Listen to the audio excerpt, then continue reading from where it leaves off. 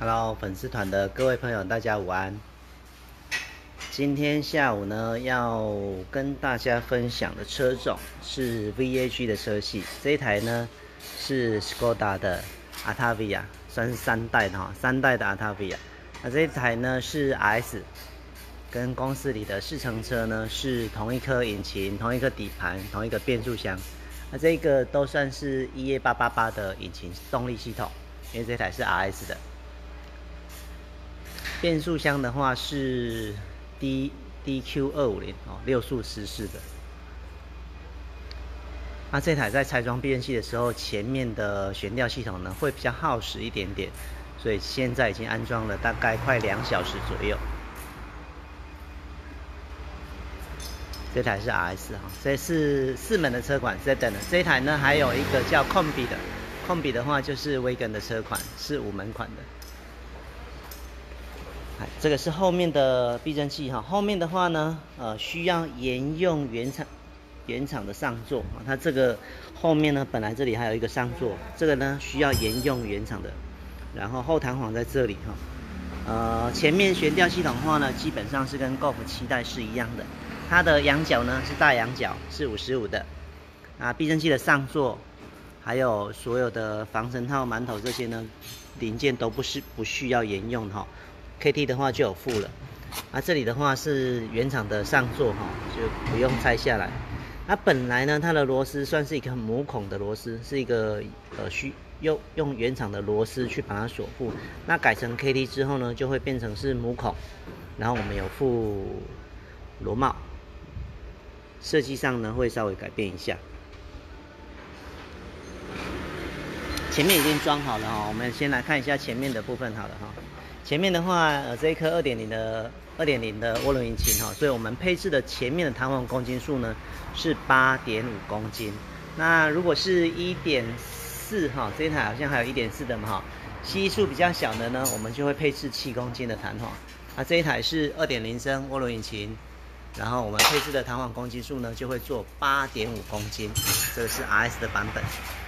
那前面的上座哈，刚刚有提到过了哈，我们有附上座，上座放在这个地方，这个影网子遮住了哈，在这里。那上座的阻尼调整呢，稍微把这个室盖掀开呢，就能调整得到了。它本来呢，刚刚提到过了，螺丝本来是一个母孔，那我们改成公螺丝之后呢，会附螺帽锁附哈。那顺时针调整呢，一样是变硬，逆时针变软，从这个地方做调整。那这个锁附的上座里面的轴承呢，一样所选用的是日本头右的轴承。哦，这个有改当派哦哈。还有改了阿玛的进气系统。这个变速箱跟引擎的反应相当不错哈。现在一些中部的店家也好，北部的店家。一百两百的三阶都已经破六秒，都写到五秒多，很可怕哦。那前面的话，呃，它的前面弹簧哈，刚刚说到是大概八点五公斤，离载算的话就沿用原厂就好了。啊，这一颗，呃，我们拆法哈，因为每一个技师的拆法都不一样啊。那我们拆装的方式呢，前面是需要把整个羊角哦，还有碟盘呢拆下来，所以需要拆卸到这个传动轴的。固定螺丝哈，这个固定螺丝的是，等一下锁附的时候呢，需要一个人踩住刹车，然后它是有固定的磅数，应该是两百牛顿米。这个锁附的时候要特别注意。它的前面悬吊系统其实还结构上啊，制造上还蛮简单的哈，就是这里要锁原厂的离载串，这个有没有灯哈？借我一下。这里要锁离载串，然后它的仰角是大的。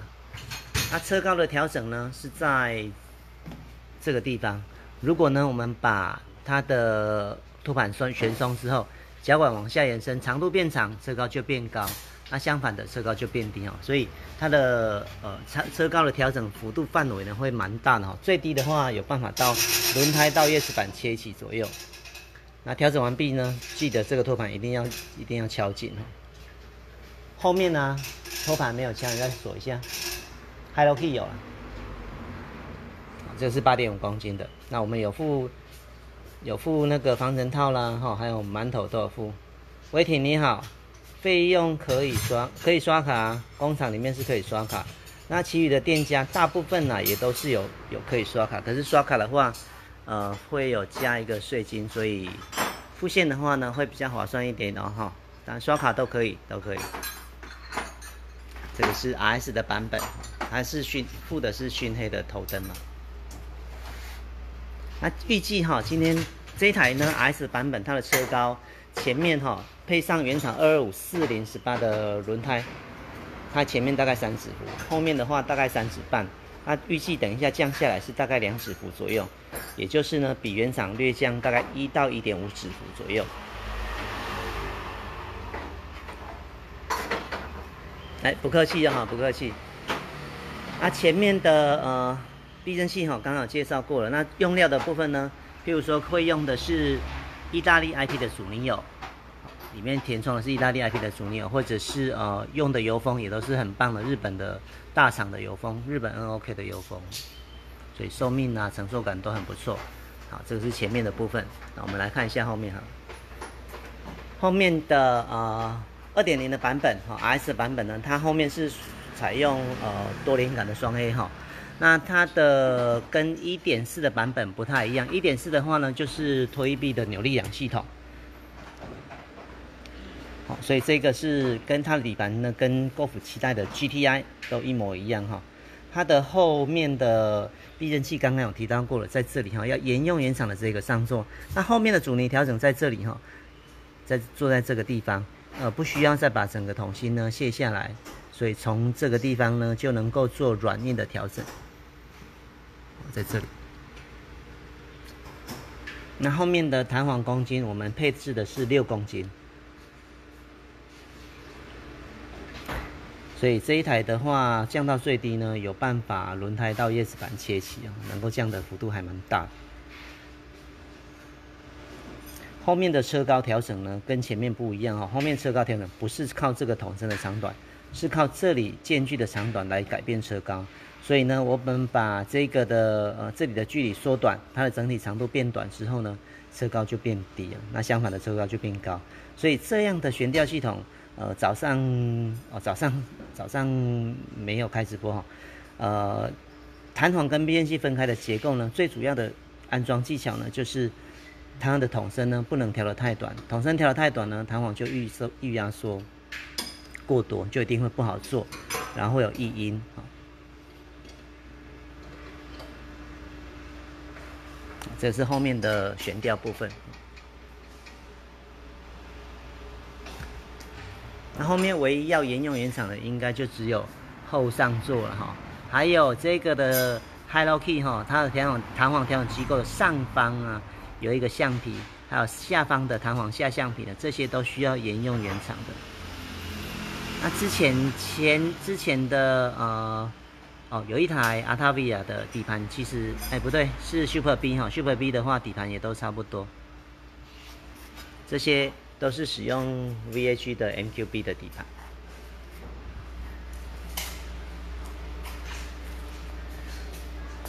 那轮胎的规格跟铝圈，这个应该都还是原维持原厂的啊，是二二五四零八。这是 PS4 这条胎，我自己用了好几套，也还不错，中规中矩。这个铝圈的造型也很好看的。这是二二五四零十八的规格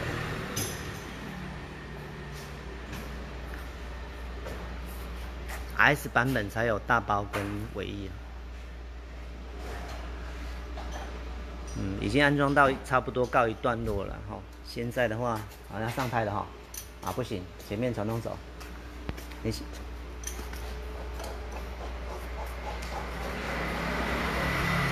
现在要把那个后面的筒身呢托板把它旋紧哈，就等一下就要准备要试车了。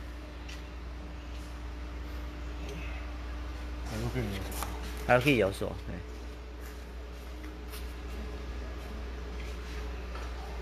Hello，学汉你好。医生也是开这一台吗？这台是 Skoda 的阿塔比亚。这台车的 CP 值非常高。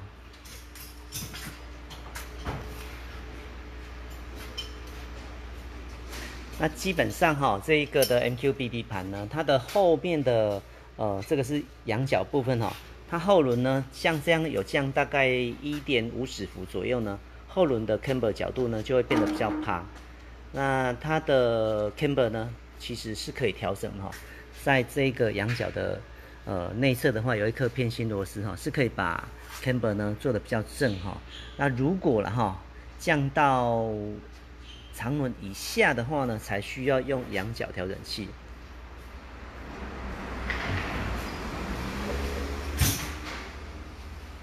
因为这一台的仰角还有竖角呢，后面的话都是有一颗偏心螺丝，可以做角度的调整。这里这里手指的地方，这个是调调整竖角。那上部的仰角仰角的偏心螺丝看不太到。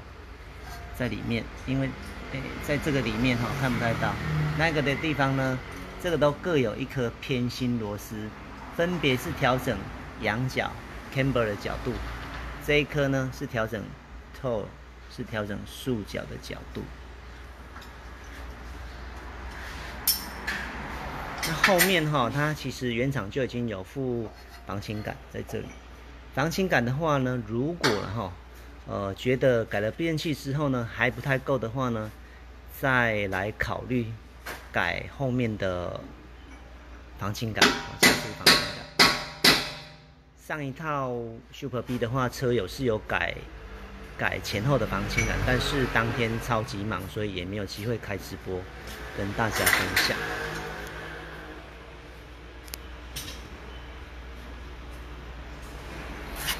这个是。阿塔维亚 MK 三，好，因为安装好了，要准备上台了。传动轴那一颗嘞，螺丝。好。